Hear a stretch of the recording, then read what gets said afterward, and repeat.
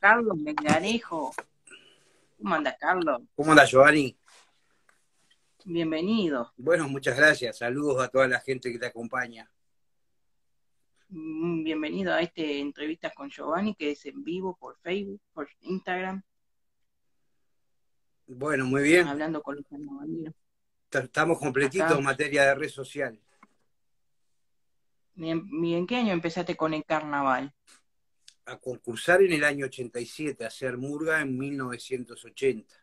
Murga siendo un niño, en una murga de niños que se llamaba Firulete, acá en, Mesa 3, en el mismo lugar que estoy ahora, en Sayago, eh, en mi casa. Este, y, arranqué en esa época a hacer murga, siendo muy chiquito.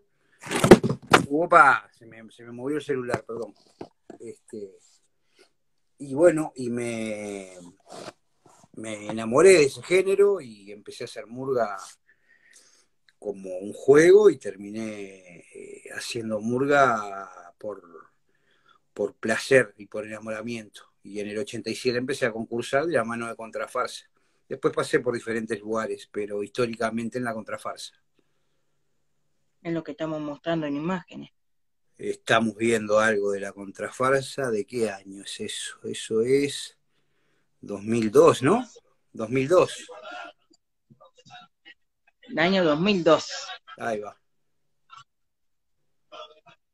Año que le tocó ganar a la Murga ese año. Este, tuvimos la suerte de, levantar la copa con la barra. Claro, como fue el, este año, cumplen los 20 años de, un gran espectáculo del año 2000 como es el Tren de los Sueños. Eh, este año van a, hicieron o van a ser, no, Carnaval 2020 ya fue, o sea, hicieron 20 años de ese espectáculo que se empezó a gestar en el 99 este, y que concursó en el Carnaval del 2000, o sea que en febrero se cumplieron 20 años de ese espectáculo. Claro y después saliste en murgas como con, la, cofradía. Salí con la, por ejemplo. con la cofradía, con la antimurga BCG, con la gran muñeca, con Garufa, eh, con la contramano. Salí en unas cuantas murgas, elaborado en Carnaval de las Promesas también, con la zafada, con Rayuela, con la descocada. Este, como que toda la. Eh, mi mundo artístico ha girado en torno a la murga, sobre todo, y al carnaval, ¿no? También en el Carnaval de las Promesas fuiste, fuiste el libretista. Sí, fui y soy libretista y he sido puestista y, bueno, en algunos casos he colaborado como he podido por una cuestión afectiva con la gente que me invitaba a trabajar.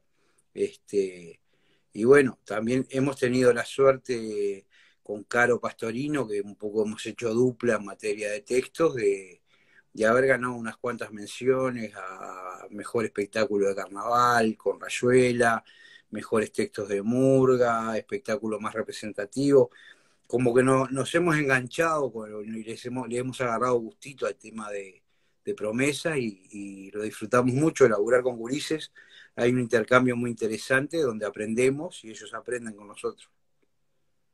Claro, como lo es este año seguramente con el Carnaval de las Promesas, seguramente va a estar buena en el año 2021 con la gente de la descocada. Eh, sí, sí, sí, esperemos que salga todo bien, que, esta pandemia que nos viene complicando bastante la vida eh, afloje un poquito y nos permita hacer carnaval y permita a la gente disfrutar de, espectáculos que están buenos, que hechos por, por adolescentes, por niños y por adultos, pero sería una lástima de que no, que, sobre todo Montevideo, que es la ciudad donde nos, nos, manejamos nosotros, no tenga la posibilidad de, tener su fiesta más importante. Eh, eh, entonces, bueno, estamos esperando que, las cosas mejoren, que, cambie el clima, que el frío complica bastante más las cosas, este, para poder empezar a, primero, a trabajar seriamente en un buen espectáculo, calculo que todos están en lo mismo,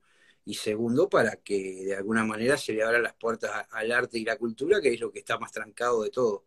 Se han abierto los shoppings, se han abierto este, las iglesias, hay un montón de actividades, pero las artísticas siguen trancadas, apenas algún toque en algún boliche, alguna cosa de esa.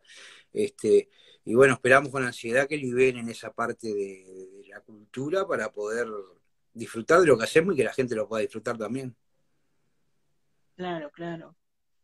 Carlos, muchas gracias por estos minutos acá.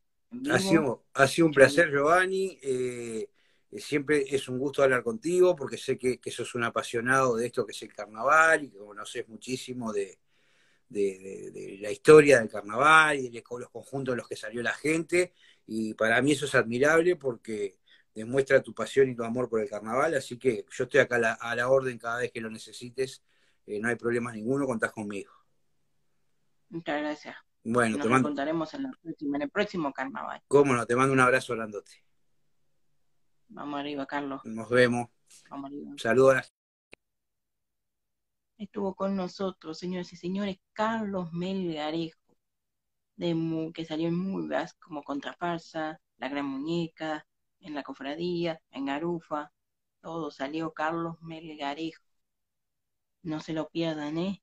Vamos a tener también, lo vamos a tener en una entrevista que le hice hace ratito. Lo van a poder ver en Facebook en mi Facebook, en Giovanni Cantategui. Ahí van a poder ver lo que fue la entrevista que le hice a Carlos eh, para mi programa que es Carnavaleando con Giovanni sobre el carnaval, donde vamos a repasar el año 1999 de Murga la Cofradía y vamos a recordar el año, el año 2009 de Murga la Cofradía. Vamos a recordar con Carlos. Así que deseándoles a todos buen descanso. Nos reencontramos seguramente la semana que viene. Descansen, buen fin de semana para todos y, a cuidarse del frío, de la, del coronavirus, todo. Y esta, esta entrevista va a estar acá y también va a estar por Facebook y por YouTube, que pueden suscribirse para ver estas y otras entrevistas que hice a distintas figuras de los medios. Muchas gracias y nos reencontraremos en la próxima que descanse. Muchas gracias.